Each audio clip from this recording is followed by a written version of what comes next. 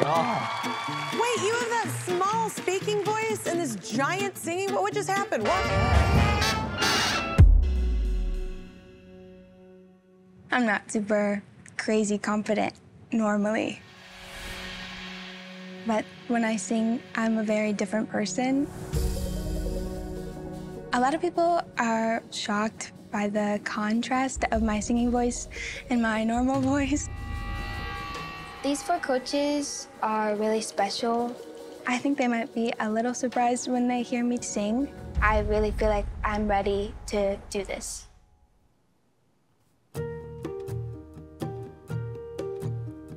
Summer after high school when we first met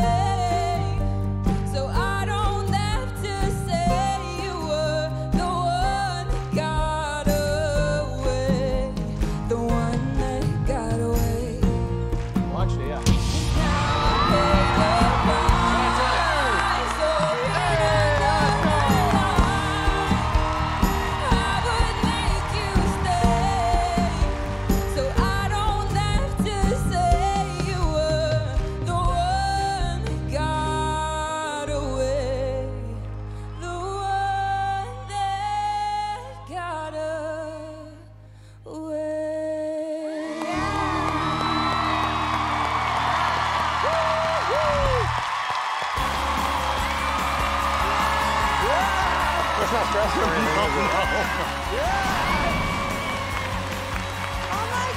Hi. What's your name? I'm Gina Miles. I'm 18. I'm from Paxton, Illinois, but I live in Sacramento, California now. God.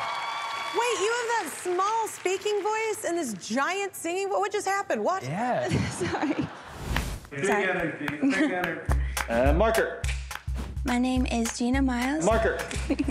Really give them everything, all you have to do. Right to me. Go for it. I'm Gina Miles. I'm 18 and I'm from Paxton, Illinois. Growing up, I never needed to be the loudest in the room. I'm pretty shy normally. we were aware of how deep and rich her voice was. Uh, it's it was just kind of shocking more than anything else.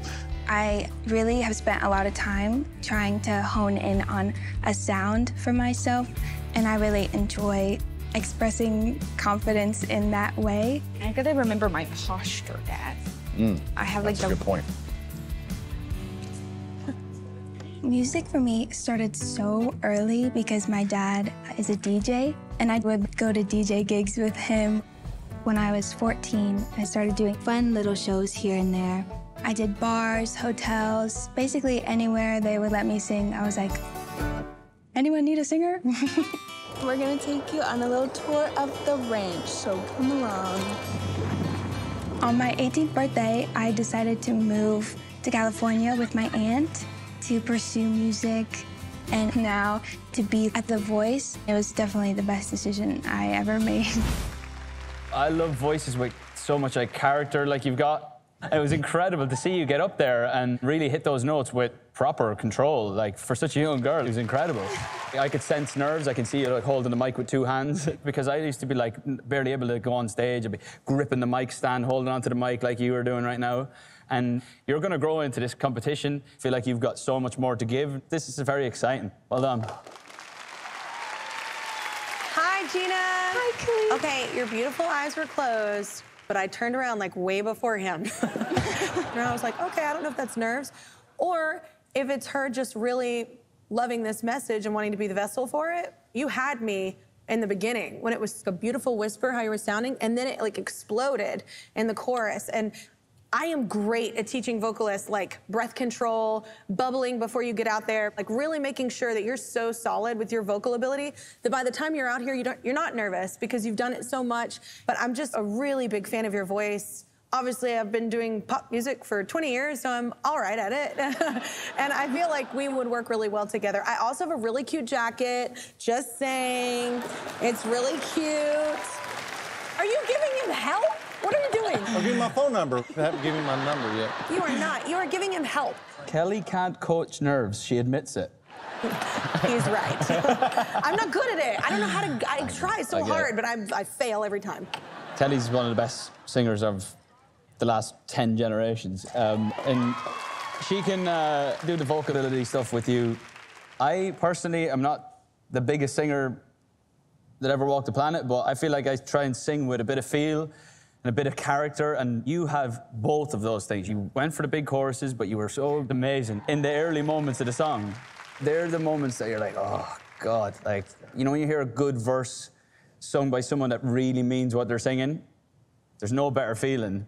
I've been there. I've walked through a competition like that. Me too. Yeah, she has. You weren't, you weren't alive, but I did.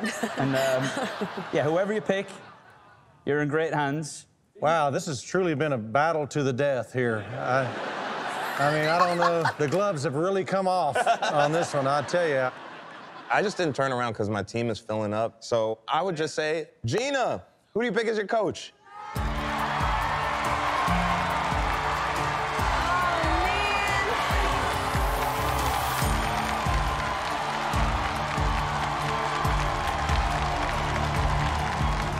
I think I'm gonna go with Niall. Ah. I lost tonight. Gina was brilliant. It's nice to hear a bit of dynamic in these auditions. Gina's got a lot of character to her voice, and she's going to be a lot of fun to work with. What kind of stuff do you listen to?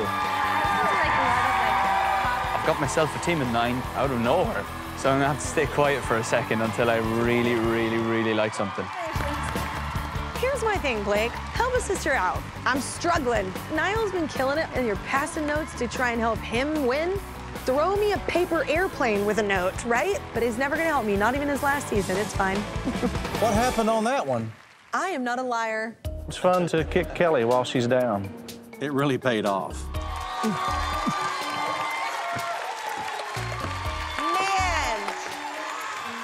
I am never helping you again. Ever. Why is that? I write something down on the pad and hand it to you in privacy, and you're like, oh, it says, uh, Because you're so polite. Kelly can't coach This is a television she show. admits it. This? What is wrong with you? I don't know if in Ireland it's common practice to be passed a note about somebody and then read the note aloud to the person. Who does that? I'll get him back. I'm gonna get him back. That is the last time I'm helping that kid out. Hey there, welcome to the end screen. Don't forget to subscribe and hit the bell to receive notifications. See you next time.